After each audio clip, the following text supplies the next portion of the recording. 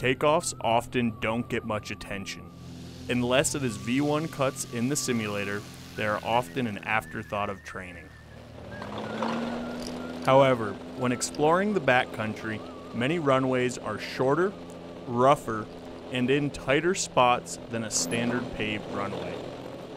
Typically, airplanes are usually heavier with gear from your most recent adventure, and the same scenery that makes the destination so attractive also provides plenty of challenges when trying to take off and depart. Furthermore, all of these considerations have to be thought out before you land since the majority of small airplanes are limited by their takeoff capabilities and not their landing performance. Unless you own a Carbon Cub or some other crazy experimental, you can easily land but not get back out. For all of these reasons, a short takeoff roll and efficient initial climb are critical. Let's look at this high altitude one way strip. While the runway itself is long by backcountry standards, there are quite a few other variables to think about. Which direction to take off is made for you by the slope and surrounding terrain. There is almost always a west wind, making it a tailwind takeoff with downdrafts at the departure end of the runway. On one hand, you can follow downstream and indeed might have to if takeoff performance is limited, but there is a better counterintuitive option of turning upstream and uphill and having a land out option available in the event of any trouble. This is a fairly typical backcountry scenario, and it is imperative that you don't leave precious room behind you with a long takeoff roll. We won't be talking too much about the departures, as we will touch on that in a later video, but we will be talking about the takeoff roll and how to break it down so the shortest roll can be achieved regardless of weight or plane type. We believe that the shortest roll provides the safest margin and allows for more options for tight places or difficult environmental conditions. In the first part of this series, we talked about how a flat wing can help you consistently hit a predetermined spot and how good fundamentals can be used in a variety of conditions very effectively.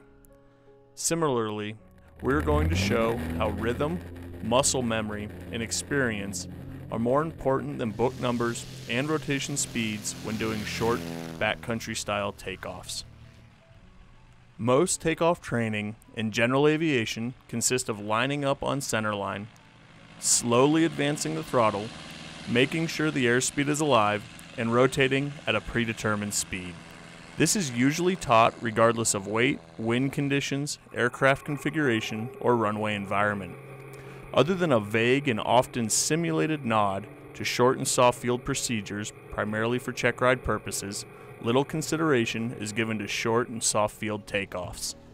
We teach rolling tail up takeoffs with positive rotation and, very importantly, remain in ground effect until true flying speed is reached. We teach rolling tail up takeoffs for several reasons.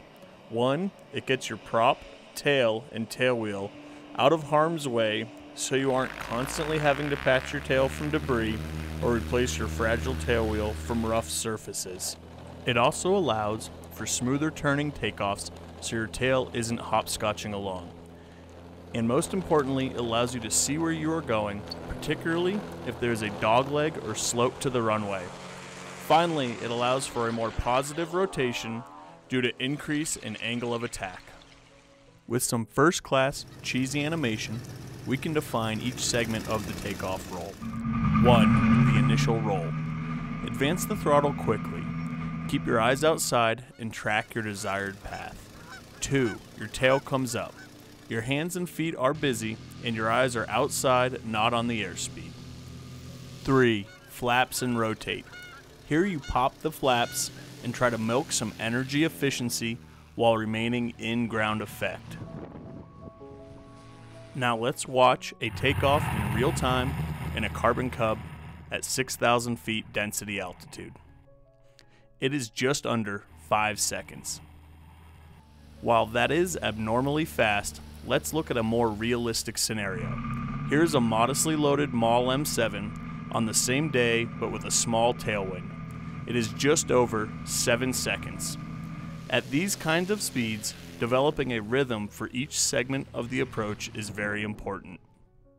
I teach verbally counting potatoes to develop that rhythm. I use potatoes, but some people prefer tiddlywinks or axle shafts.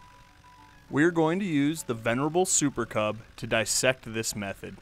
Power comes forward, one potato, two potato. Tail comes up, one potato, two potato, three potato. Flaps and positively rotate. Notice we stay in ground effect to gain energy efficiency before beginning our climb out. Now, let's follow along in a carbon cub. Power comes forward. Tail up. One potato, two potato. Flaps and rotate. Notice the airspeed indicator. We are airborne and it is barely coming alive. Notice again, we remain in ground effect until flying speed is reached. This count is going to be different in each type of plane and configuration. I have found that verbally counting helps mitigate these differences into common segments. What might work for a light 185 at sea level is going to be different than a heavily loaded Maule in the mountains.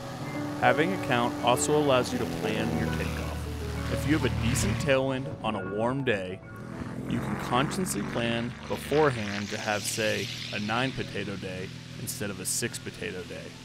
Rather than picking some imaginary and arbitrary abort point, you can have a tangible and accountable abort point. Simply by knowing your counts, you can diagnose the health of your takeoff, whether it's a sticky brake or a stronger than expected tailwind. If your tail doesn't come up when you think it should, that is a good time to abort rather than airborne and staring at some trees. The important takeaway is these takeoffs happen pretty fast. The airspeed indicator hasn't even come alive by the time you're rotating, and there are plenty of other variables to pay attention to as you begin your roll. Having a routine that is as much muscle memory as it is rhythm allows you to get airborne and in ground effect the quickest way possible. It also allows you to diagnose the takeoff and feel if it is going as planned. This leaves you with more options, which is always a good thing when operating in the backcountry. Join us for our next video, the flare, touchdown, and rollout.